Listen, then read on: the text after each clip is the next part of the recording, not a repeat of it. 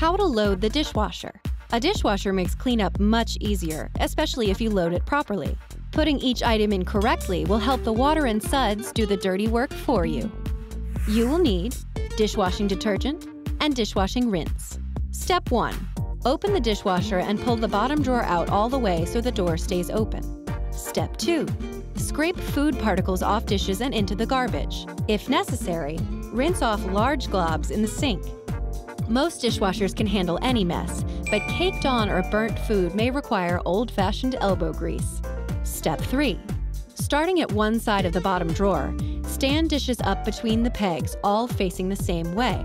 Most items today are dishwasher safe, but if you're not sure, ask a grown-up to check for cleaning instructions. Step 4. Place pots, pans, and casserole dishes on the bottom rack facing down. Step 5. Pull out the top rack. This is where you'll put cups, glasses, and large cooking utensils like spatulas and long serving spoons. Step 6. Empty glasses and cups into the sink and fit them securely over the prongs. A full dishwasher runs best, so load it up before you start a wash cycle. Step 7. Place silverware into the baskets, which are usually on the inside of the dishwasher door. Forks and spoons go in handle first, and knives go in with handles facing out. Mix up the utensils or else they will stick together and may not get clean. Step 8. Get an adult to help you fill the cups with dishwashing detergent and rinse agent and start the cycle. Before you know it, the dishes will be clean again. Did you know?